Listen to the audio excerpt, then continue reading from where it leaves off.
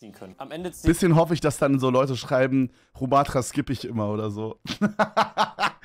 es wäre zwar übergemein, aber ich, man muss auch zugeben, es wäre ein Stück weit auch lustig. Also ein bisschen wäre es auch lustig.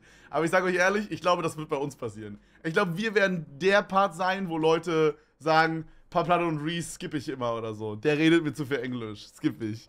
100 Pro, das werden wir sein. Aber no joke, äh, ich, ich glaube, es ist ein Hot Take, der, so wie alle denken, die nicht aus dieser Survival-Bubble sind. Ich habe das Gefühl, es braucht nur maximal ein bis zwei Teams, die wissen, was sie machen. Alle anderen sollten Entertainer sein, in my opinion. Weil, Bro, ob jetzt Outdoor Joachim zum Moin, neunten. Mal, Bro, in Wollte der dir nur Wildnis ist. Ja, mein Gott, Spiel der kann das. endlich erschienen ist. Cool, dann baut Sehe er halt irgendein krasses Haus. Ja, cool. Aber so, Bruder, wir brauchen jetzt nicht neun Teams davon. Juckt. Ich habe das Gefühl, man braucht die nur, also als so, wie sagt man das, als, äh, als Maßstab.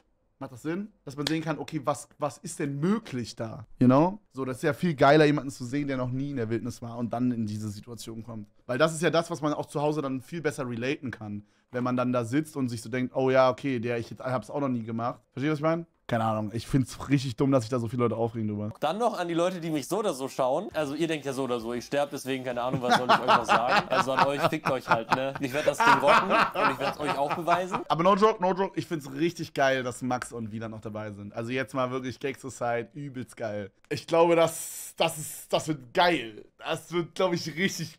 Das wird richtig. Wir sind, das, wir sind halt die Goofy-Teams, ne? Wir sind das, die zwei Goofy-Teams, aber es wird richtig nice. Ich glaube, das wird good funny, Mann. Die wollen euch raiden. Mann, Bro, das Ding ist halt, Max wird halt irgendwie am zweiten Tag irgendwie so umknicken mit seinem Fuß auf seine gottlose Schulter fallen mit seinen 185 Kilogramm, Bruder, und dann ist das Ding wieder durch. So, der soll mal halblang machen mit irgendwas raiden, Bro.